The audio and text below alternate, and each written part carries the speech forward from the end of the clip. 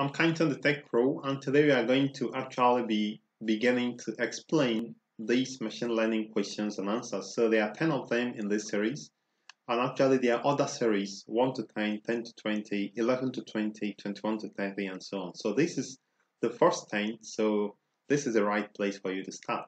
So there are random questions I've choose and I've actually given the answers here, the clear answers in my website kindsonthegenius.com you find in the description box but I also want to explain uh, these answers as well by using uh, maybe some diagrams and also some notations so that it becomes very clear to you.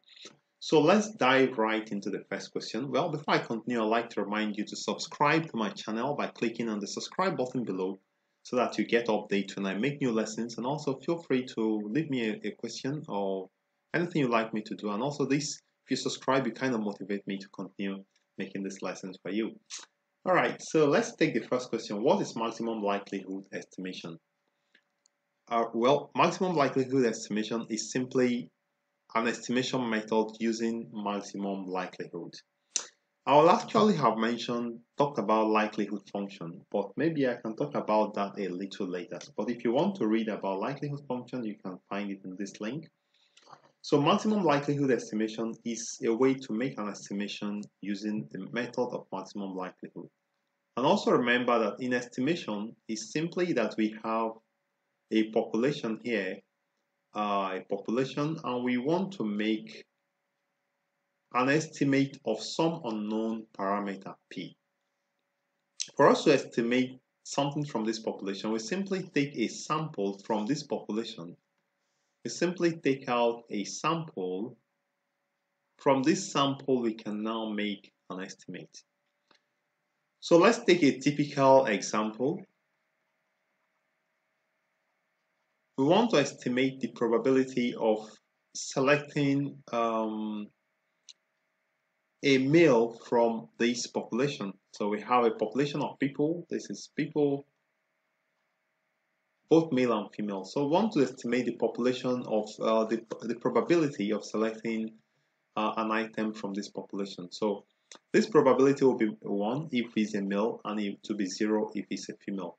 So what we are trying to estimate now is P. We are trying to estimate the par parameter P. So for us to make this estimation, give a second, we need to use a function called a distribution function.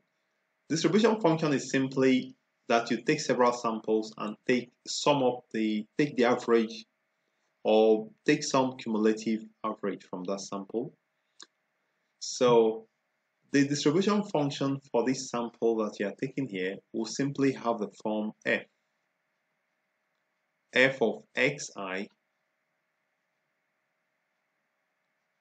given p so what it means is this function is the value uh, of xi, the value the xi was going to take given the parameter p, assuming we know it. So it's going to be 1 for male and 0 for female. So it's going to be of this form, p to the power of xi into 1 minus p to the power of x 1 minus, sorry, let me just make it right,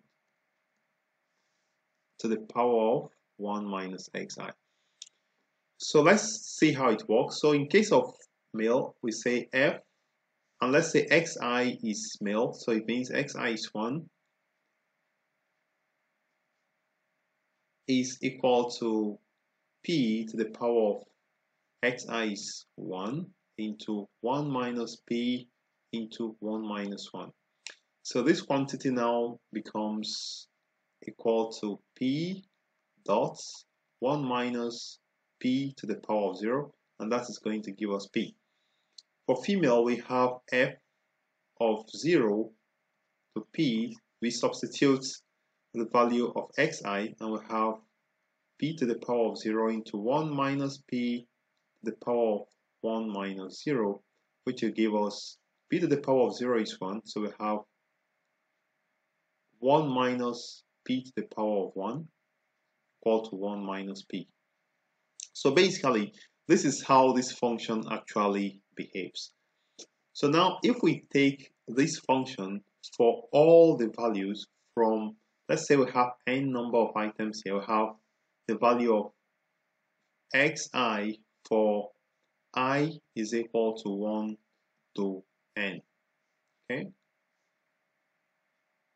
Uh, for i is equal to 1 to n. So at this point, we need to now take several of this, of this function. So have the function is going to now be f of x1, x2, all the way to xn, all right? Of course, it's given the parameter p that we are trying to estimate.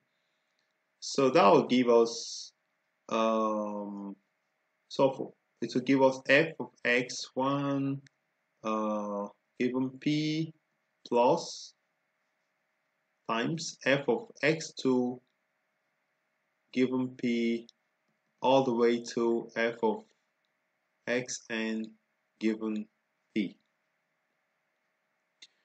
So if we replace this function we call this we f of x with this function so we'll have p of x1 into 1 minus p of x1 uh, times p of x2 into 1 minus p of 1 minus x2 so this is 1 minus times times p of xn into uh, 1 minus p into 1 minus xn. So now we are trying to find the function.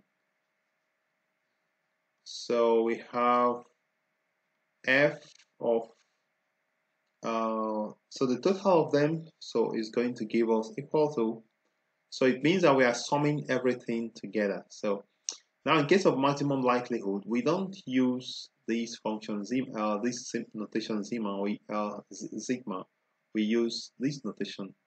So we are summing everything p to the power of xi into 1 minus p to the power of 1 minus xi from i is equal to 1 to n.